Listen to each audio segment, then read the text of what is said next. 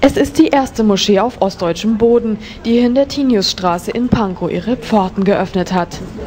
Der Bau war von Anfang an umstritten, viele Anwohner sind daher von der Eröffnung wenig begeistert.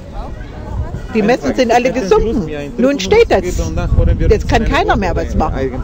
Ich vertrete nach wie vor den Standpunkt, das habe ich schon einigen gesagt. Die gehört an und für sich nicht hierher. Sie steht nun mal hier, nun muss man damit leben. Sie sollte äh, dort stehen, wo diese Glaubensrichtung auch präsent ist. Aber in diesem Stadtbezirk, ich, ich, ich kenne hier kaum einen Moslem. Ich habe mich ordentlich mit denen unterhalten, die haben ihren Standpunkt gesagt, ich habe meinen Standpunkt gesagt. Was wissen Sie denn überhaupt über die ähm, Glaubensrichtung? Nicht allzu viel, wollen wir mal so sagen. Nicht allzu viel. Aber das, was ich bis jetzt darüber gelesen habe, nicht nur von den Rechten, nicht nur von den Rechten, was die dort so äh, kundtun, äh, nicht, ist nicht allzu gut. Ich kann jetzt die Anwohner nicht richtig verstehen. Ich bin deswegen gekommen, mich zu überzeugen. Wie bindet sich das ein hier in diese Gegend? Und es ist ja Gewerbegebiet und ich denke, da kommt äh, eher Belästigung als jetzt von dieser Moschee. Zwei Jahre hat die Fertigstellung der Ahmadiyya-Moschee gedauert, begleitet von Protesten und Boykottversuchen. Leider gab es halt immer wieder ähm, kleinere Dinge, wie ähm, dass die Tore verklebt wurden, dass äh, rassistische Dinge an die Moschee angemalt wurden. Wir, wir haben keinen Hass dagegen entwickelt, also wir wollen weiterhin äh, gute Nachbarn sein. Für die Gemeinde ist der heutige Tag daher ein großes Ereignis. Wir sind stolz darauf, dass wir haben trotz, an, trotz Anfeindungen unserer Nachbarn, unserer Nachbarn Hannesdorf, äh, es ist uns gelungen, diese Moschee fertigzustellen. Für mich ist die Moschee, Moschee in, ist ein Ort der Begegnung, ein Ort der Begegnung von Menschen von verschiedenen Kulturkreisen, ein Ort des Friedens und ein Ort des Information. Ich hoffe, dass äh, wir werden in der Lage sein, eine friedliche und gute Nachbarschaft mit dem Heinersdorfer zu also anzuschaffen. So mancher Heinersdorfer ist nicht erfreut über die frommen Nachbarn. Etwa 300 Demonstranten haben sich in der Nähe versammelt. Ihr Vorwurf, die Ahmadiyya-Muslime seien antidemokratisch, frauenfeindlich und an der Scharia orientiert.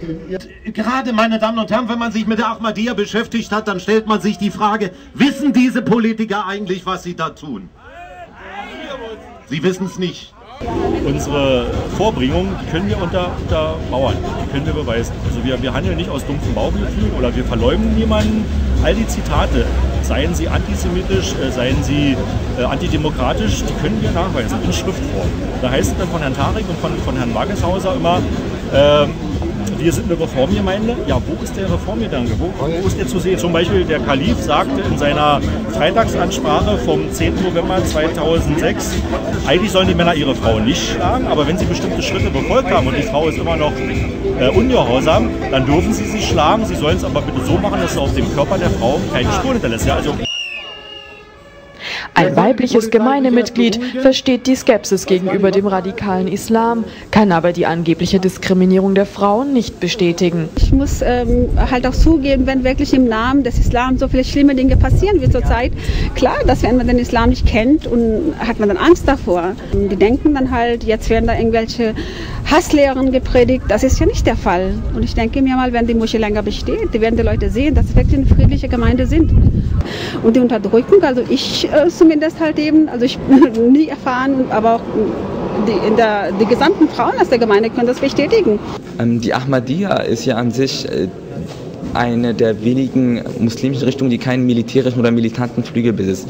Ähm, sprich, wir haben ähm, noch nie Extremisten oder Gruppen gehabt, aber wir unterscheiden uns in dem Sinne, dass wir den reinen Islam, den alten sunnitischen Islam und deswegen, äh, wenn man, äh, kommt man ein bisschen konservativ rüber. Zur Eröffnung ist auch Bundestagsvizepräsident Wolfgang Thierse erschienen. In den nächsten Wochen können sich auch andere Interessierte an Tagen der offenen Tür informieren und sich ein Bild vom Gotteshaus und dem Ahmadiyya-Islam machen.